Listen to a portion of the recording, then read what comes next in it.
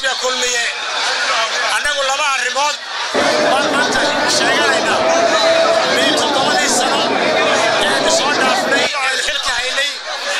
Wixii aanu qabannay waa wax noo yaalla ood og tihiin oo idiin mar walba aynu xasuusinaynaa. Tan labaad waxa weeyaan ballanqaadkayaga in haddii ilaahayna u guuleeyo doorashada mar labaad in wixii naga qabiyoobay muddada toddoba sana ah inaan dhammaystiri doonno oo kow arrimaha nabadgelyada waxaan wax ka soo qabannay wax badan baan ka soo qabannay toddobadii sannadood waxaan xoojinay hayadaha nabadgelyada waxaan kor u qaadnay hayadaha nabadgelyada ciidamada qaranka booliska jeelasha ciidanka badda. Dhammaantood waxaa la geliyey xoog baa la geliyey tababaraa la geliyey dhaqaale la geliyey si ay u qabtaan looga baahan yahay nabadgelyo dalka looga baahan yahay. Waxaanu bixinay.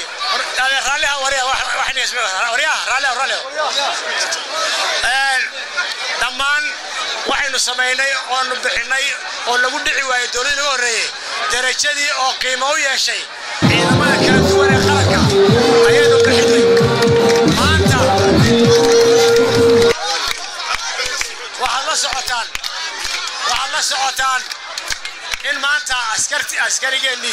isku min madaxda u sarraysa ilaa ka hooseeya.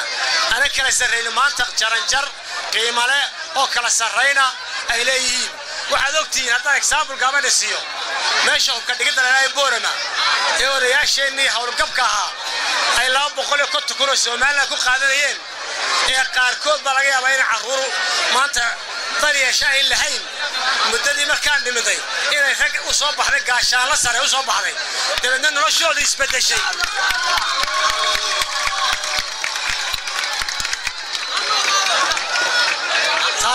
Waxaan markaa leenahay arrimaha nabadgelyada. Iminkana waxaan ku tala jirnaa in dalka nidaamkiisa kala dambayntiisa iyo waxaa ruulaflooga kala dambaynta sharciga inaan xoojinno. Haddii dib lanoo doorto inaan xoojinno oo aanan la maqli doonin. Beelheblaayo iyo beelheblaayo iyo maaragtay odayaal baa dhexdhexaadinaya. Sharcigaa dal ka sarrayn doona taasaan nagu ballan qaadaynaa inaan xoojinno kala dambaynta qaranka.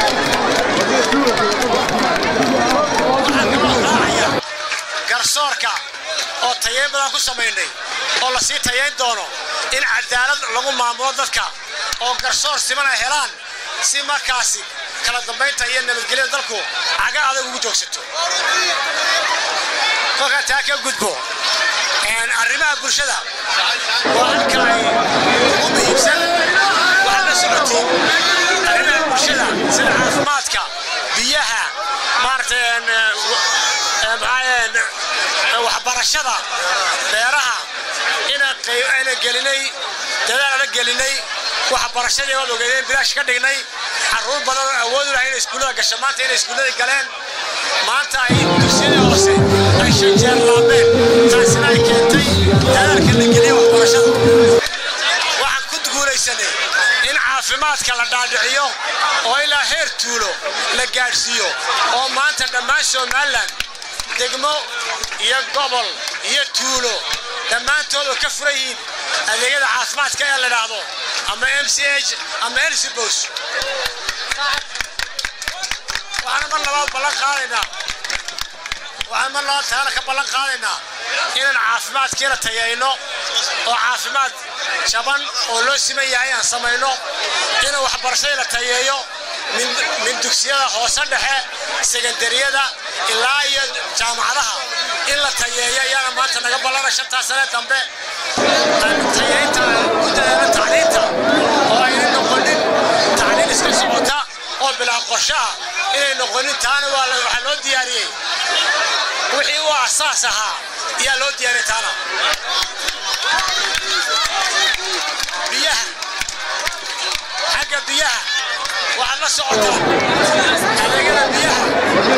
Waxaa la gaarsiiyey maanta ilaa heer tuur haddaan gobolka awdal ka hadlo waxaan ku soo biirinay toddobada sannadood shan iyo toban riig oo maanta ceelasha biyaha oo dadkii beediyuhu biyo nadiifa ay cabbayaan.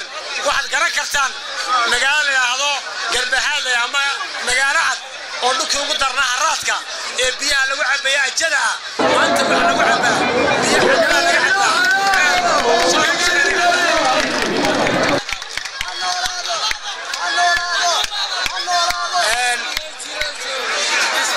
socotaan.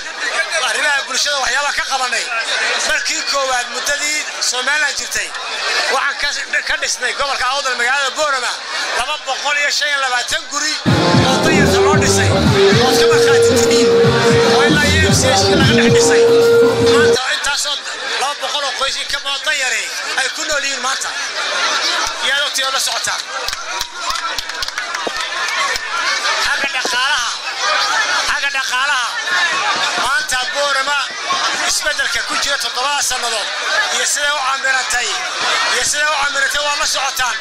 Waxa keenay taasi waxaan wax ka qabannay kaabayaashii dhaqaalaha kaabayaashii dhaqaalaha ayaa wax ka qabannay waxaannu samaynay waddadii isku xidhaysay kalabaydh iyo boorama oo dhowr iyo afartan kilomitira.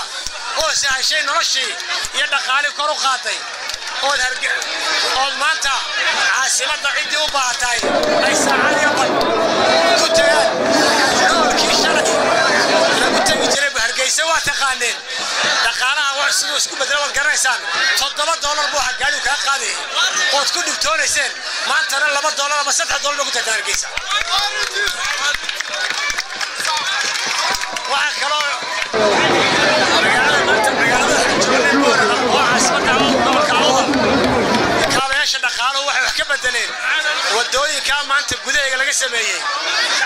Waxay soomaalidu tidhaahdaa wiilad horow dhashay iyo hadal horow tidhiba dib buu ku anfacaa.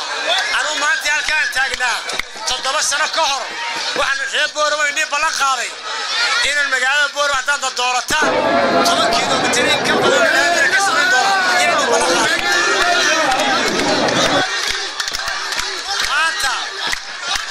shantii sano. Een aan ballan qaaday toddoba sana joognay. Sidaa guddoomiyaha degmadu inii sheegay waxaa la sameeyey siddeed iyo toban kilomitir oo laami ah oo fududaysay isku socodkii magaalada oo maanta umusha laga soo qaadayo qorgaab laga soo qaadayo ay nus doolar lagu keenayo. Dhakhtarka weyn ee boorama halkii awalna toban doolar ama labaatan doolar tagsku soo qaaday. Waxay keentay waxay keentay adeegyada bulshada ee kobcinnay ee maarata ay ka mid yihiin biyaha boorama maanta magaalada boorama oo magaalada uga adeega wanaagsan xagga biyaha ah oo dadku tuush ku wada maydho iyo jaamacaddii camuudada aynu dadka hortii aasaasanay. Waxay boorama u soo jiiday in tacliin laga helo boorama in biyo laga helo nadiifo oo maarata jaban laga helo. Waxay u soo jiiday in dhammaan soomaali meel ay degan tahayba inay soo iigsato inay boorama degto inay boorama degto. Ayay keentay taasi waxaan ku faanaya anigu intaan xil hayay baan ma kuma faanayo intaan xilka hayay. Yaa waxaa soo kordhinay. Anigoo xilkii hoose golaha deegaanka haya iyaan hormood ka ahaa in arrimaha bulshada in waxbarashada jaamacad dalka la tayeeyo aasaasaan ka ahaa. Biyaha boorama hormood baan ka adhigishkada boorama dhisay baan ahaa. Waxaas dalkii aasaas ku ahaa baan siyaasiyana waxaa idin ballan qaadayaa sidaan shalay wax u dhisayey een maanta waxu soo dhisay ina si ka badan u sii dhis doono dalka iyo iyo gobolkaba waxaan ballan qaadaynaa imikana waxaan ballan qaadaynaa maantana kaabayaashii dhaqaale intay noo dhiman inaan sii xoojinno oo waddadii weynay ee nolosheenna wax ka taraysay ee nolosheenna wax ka bedelaysay ee boorama la yacaddo ina iyadana shantaa sane soo socota insha allah aan dambayno kuwii aan ku ballan qaadayno waxaad ku ducaysaan waxaad ku ducaysaan ree awdalow ood noogu ducaysaan ilaahay noogu garab galo. Ballanqaadkaas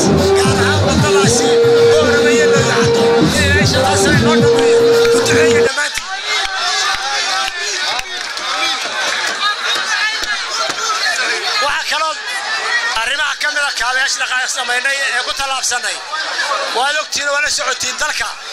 Sida heestii iminka sheegaysay wasaaradihii dalka oo dhan waa la wada bedelo maartay waxay ahayd. Aqalla yaryar oo ka dhaxalnay dowladdii hore hayen maanta fooqyaa laga wada gaar ahaan gobolka awdal magaalada xibooramana waxaynu ku soo kordhinay.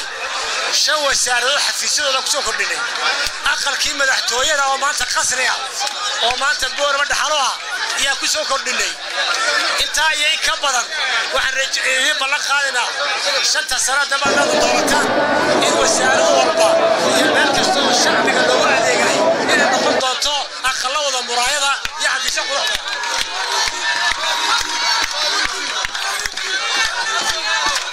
arrimaha qodobka igu dambeeya qodobka igu dambeeya waa arrimaha siyaasadda. Arrimaha siyaasadda xisbiga kulmiye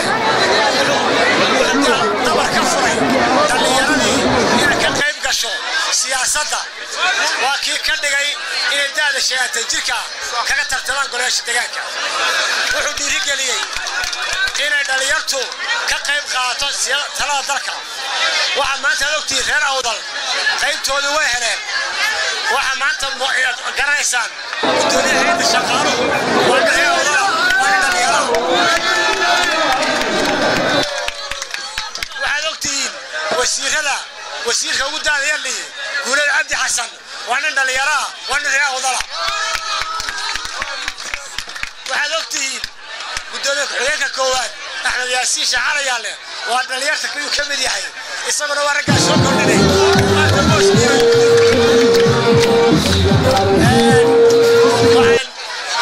intaa iyo in ka badan oo dhallinyaraha maareeyaha waddooyinka maareeyaha waddooyinka waad garanaysaa isagana. Waa dhallinyarta soo kordhiday ee maanta taladii dalka ka qaybgalkooda noo sahlay. Markaa sidaasaa siyaasadda adreecooda koro soo qaadnay. Markaan ilaa siyaasadda guud dalka looga taliyayo waa golaha wasiirada. Dowladdii naga horraysay dhowr iyo lixdanka wasiir reecooda waxay ku lahaayeen shan bay ku lahaayeen. Maanta toban bay ku leeyihiin. Waa labanlaab